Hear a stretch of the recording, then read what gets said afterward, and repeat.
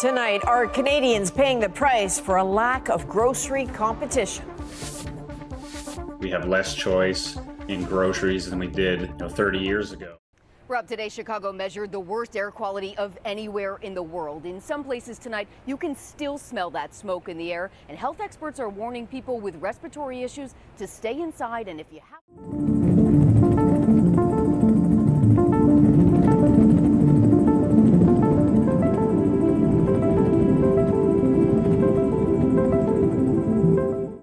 see it, we could smell it all day long, but the numbers show Brookfield felt the worst of it. Sam Kramer joining us live tonight. And Sam, they have the worst air quality in the nation, and it caused people to make some. Tropical fruit smoothie blend. This is sold at Trader Joe's. The bacteria can cause serious and sometimes even fatal infections in young children, elderly people, and those with weakened immune systems. If you find this product in your Smoke from those Canadian wildfires inundating parts of the Midwest today. Chicago and Milwaukee really socked in. And as Lee mentioned, some of that smoke finding its way here later this week again. So.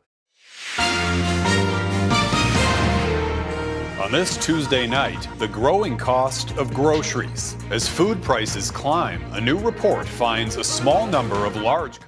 Pick anything on the menu. Last year was $17.99 and now we're at $19.99.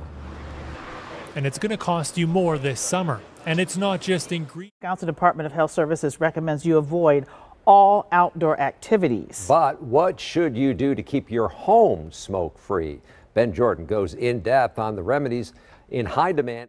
Sensing an opportunity to bolster his party's fortunes in this region, federal opposition leader conservative Pierre Poilievre is touring Atlantic Canada, promising, if elected, to dump the carbon tax.